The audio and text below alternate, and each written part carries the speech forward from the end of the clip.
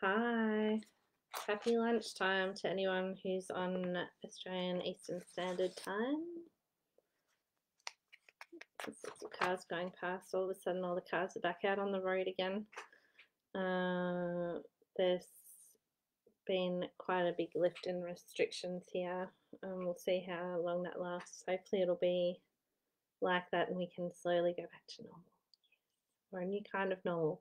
Which brings me to the topic which I posted about earlier, uh, which is kind of a response or my thoughts that have been spurred on by the Thesis Whisperers blog from about a week ago.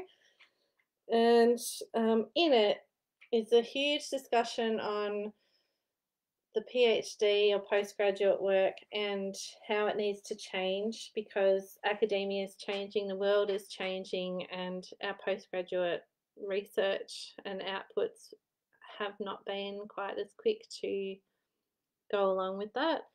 This is something I've been talking about with colleagues for a long time, just about whether uh, or how you can do alternative modes of dissemination of research. Um, what are the different ways to produce theses and postgraduate outcomes so that it's more um, more practical and leaves you more career ready and how to support postgraduates so that they are armed with a whole range of skills that they can easily articulate when they're looking for a job post postgraduate degree. So, um, and I've been talking to a few awesomely talented women the last few days, um, very clever ladies who are just wondering what to do with their careers. And I was thinking, I still think there's value in doing a PhD. I do. Um, Bula Tarisi, I would really like your thoughts on this too, actually. Um, so, especially whether you think the PhD is worth the time, effort, uh, lack of funds in your account. Um, I think if you're at a particular point in your life where you can get by um, and do something that requires so much concentration and you have the support from your family in one form or another or the space from your family in one form or another then it's it's not so bad probably going into the the cost of postgraduate study for family and the impact of academic careers on family is a whole other topic that we can delve into at a later date. I have a lot to say about that also. Um, for me, when I started my undergraduate degree, I don't think I ever knew what a PhD was. And I was saying to someone the other day, I just wanted to go as far as I could. And I always am kind of following my nose a little bit and just going on whatever opportunities are coming up. And I had the opportunity to do honours.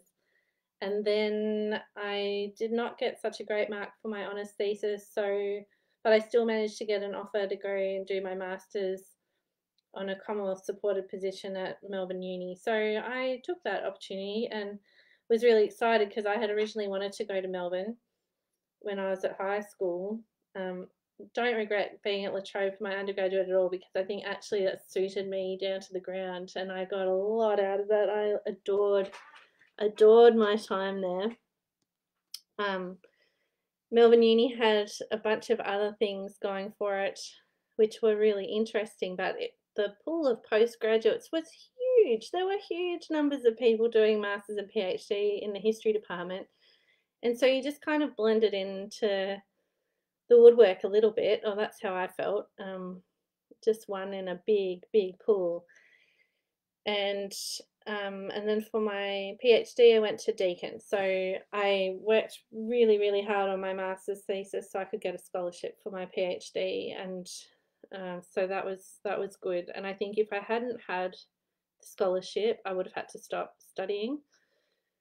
Uh, in fact, I know I would have had to stop studying. So um, I was really grateful for that. But I always juggled work and study, and sometimes multiple jobs while doing the study. so um, that wasn't always great. Uh, definitely wasn't always easy, but meant that I was building a different skill set at the same time as doing my research and and my writing and all that sort of thing. So while I really loved getting academic work and was a bit frustrated when I wasn't doing academic work, I I knew I was always getting something out of that sort of thing. So um, I guess in that would be the idea that it's good to diversify your skill set always, a little bit at least, and not put all your eggs in the one basket, thinking that um, academia will offer you everything, everything that it, it promises. Um, will provide it. I mean, and and definitely don't expect security. Oh my goodness, and I that was hard to hear when I was a postgraduate student and very determined.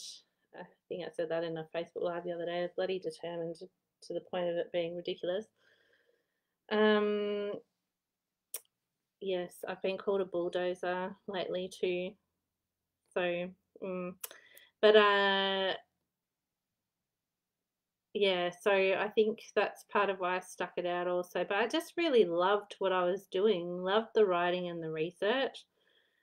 So if if depends on what your motivations are. If you just love it and it's going to get you up in the morning and you're going to be lying awake at night thinking about your ideas and desperate to write them down and itching to get into your research and that sort of thing. If that if you can sustain that for five or more years or three or more years or whatever it is that you think it's going to take you, then go for it. And there's no reason why you can't complete it while you're doing other work.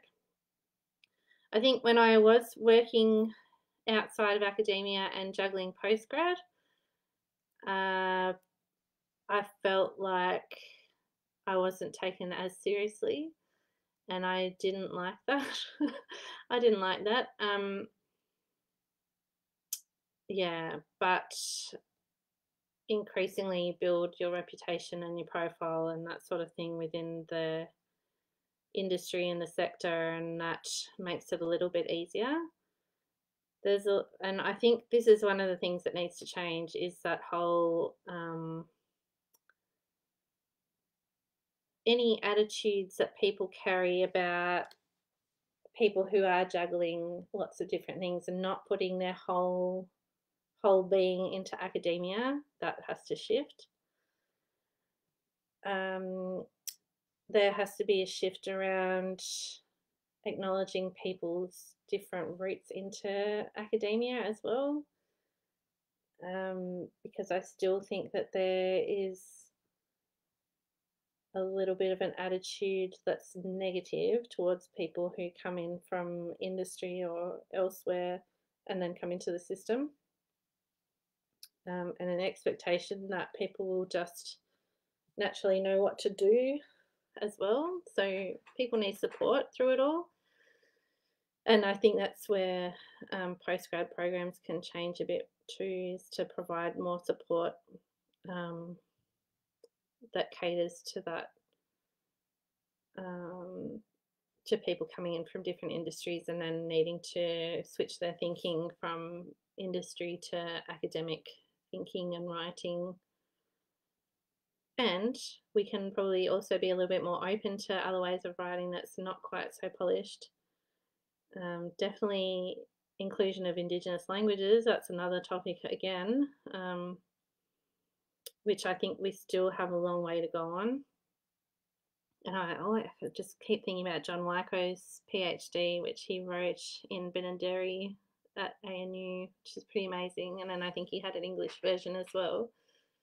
Um, but you know, there's still there's a lot we can do to be more inclusive of Indigenous language in postgrad. I am definitely ranting today, but I just wanted to bring this up because I know people are thinking about it. You know, do I, don't I start on the postgrad journey? And I think that there is a lot that you can do. And if you find the right supervisor, and that should be your starting point, is to find the supervisor that's going to be a good fit for you that you can see yourself working with for several years, who will listen to you and help you be adaptable through the changing landscape of academia and whatever other industry you're interested in working in, um, then that's that's the biggest part of your battle one. The the rest you can almost find for yourself. Like it doesn't matter really what institution you're at to do a postgraduate degree. If you have a good supervisor, you can cherry pick from different universities um, and different programs and and do your own kind of professional development program uh, as well as the one that's provided by the university. So you can choose which way you want to go and which skills you want to develop and nurture for yourself. Um, and if your supervisor is supportive, then all the better. Um, that it's a beautiful thing when you've got a supervisor who's supportive of what you want to do. I'll just see what Tarisi says. Yes, I love writing and researching. and Now I'm looking at new ways of disseminating my research data to my communities, the museum, and Fiji in various ways, such as exhibitions, social media, podcasts, and writing in my Indigenous vernacular. I know, I'm so excited about all the stuff you're doing, and it's just building on what you've been doing for such a long time. Um, especially the social, uh, like the language stuff, translating that into social media posts and some of the infographics that you've done and all that sort of thing has been so cool to watch. And I think that's been um, fun for me to test out too, because um, I've been playing around with the social media planning platforms like Later is the one I'm using at the moment. There's also Social Sprout and what are the other ones? I had another one. Hang on, see if I can find it. Like oh Hootsuite. Hootsuite is another one. Um, so I test through there like what's the best time to post so that you get the biggest reaction from an audience. Um, there's a thing called hashtag expert or something that you can use to make sure that you've got the most effective hashtags on your posts. Um, it's interesting comparing how or like what audience you'll grab through Instagram as compared to Facebook. Um, and Twitter again is another one. Um, get hardly any hits on my YouTube, but that's okay because um, you can cross post across the um, Instagram TV and Facebook Lives and whatnot.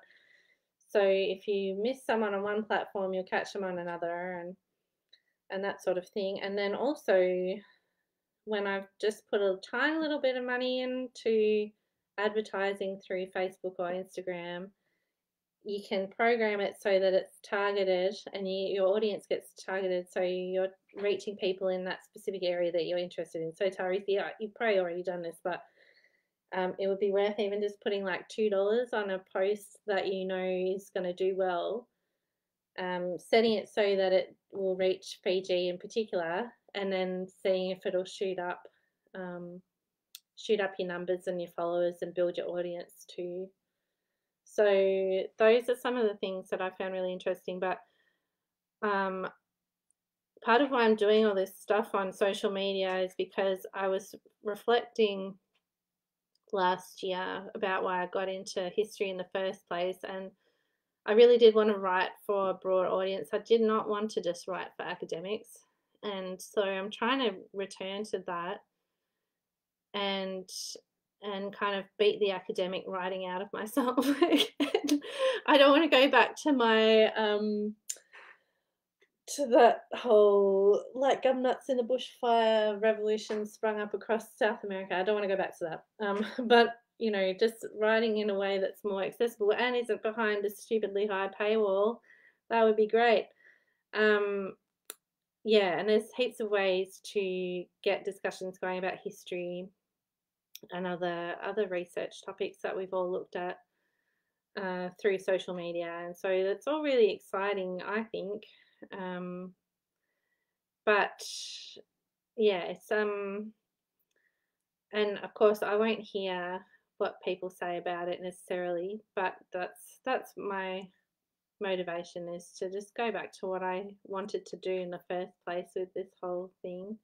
Share share my interest in history and how I love to learn about it and then better understand why things are the way they are now and look for inspiration from people who have come before us as well. So, um, yes, that's that's that. So I don't know. I don't know whether um, people are feeling the same way. If you're feeling like journal articles are a bit of a waste of time, um, or books are less important than they used to be.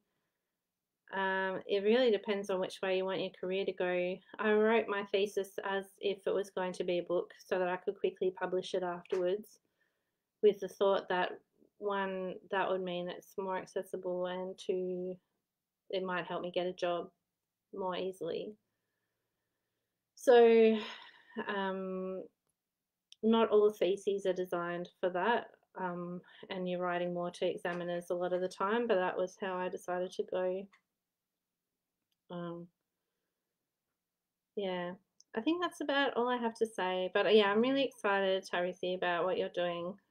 So excited, and um, I love the lives that you do around the island. It's so great. Um, it's great to hear Rosavakaviti from over here because I miss it. And um, yeah, and so your your pages are giving me that. Um, yeah, I just need to practice more. Mm. All right, I better log off. I've got to tune into another Zoom meeting mm, and um and learn some new tricks for what am I doing it for? Ah, some of the stuff that you and I are working on actually, Tarisi. I'm I'm doing some training, so I'll be able to feed back some more ideas to you soon. Um, we can get our entrepreneurial hats on and and um and and forge ahead. But uh, I hope everyone has a nice rest of the day or night or morning, whichever time it is there, and uh, I'll catch you all soon.